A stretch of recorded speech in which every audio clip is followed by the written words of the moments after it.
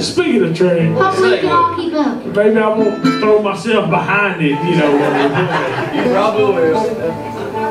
Nice, no, no, I don't think so. She said, hopefully I can keep up. Oh, I said hopefully y'all can keep up. I thought she said donkey butt. I just got, got donkey butt on the brain. My, my hearing is really. We man track. Been on the track. Got to